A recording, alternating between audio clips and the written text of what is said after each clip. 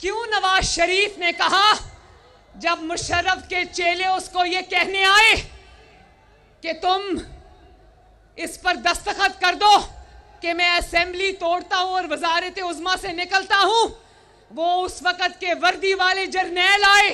क्यों नवाज़ शरीफ ने कहा कि ओवर माय डेड बॉडी क्यों उसने कहा, गुलाम साक को कि मैं डिक्टेशन नहीं लूँगा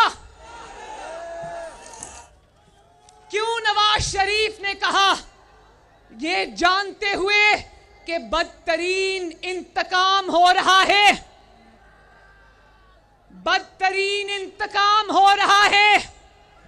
क्यों नवाज़ शरीफ लंदन से अपनी बेटी का हाथ पकड़कर शेरों की तरह गिरफ्तारी देने आया? क्यों? क्यों नवाज़ शरीफ ये जानते हुए भी कि मुकदमात झूठे हैं। जिन मुकदमात में नवाज़ शरीफ को पूछा जा रहा है, उन मुकदमात का फैसला मुकदमात शुरू होने से पहले ही सहूलत कार कर चुके थे। क्यों ऐसे मुकदमात में, झूठे मुकदमात में नवाज़ शरीफ ने 200 पेशियाँ दी? कितनी? क्यों वो अपनी मरती हुई बीवी को छोड़ के लंदन से आया? ये लाहौर में होते हुए चारपाई के नीचे छुपा हुआ है, वो लंदन से आ गया।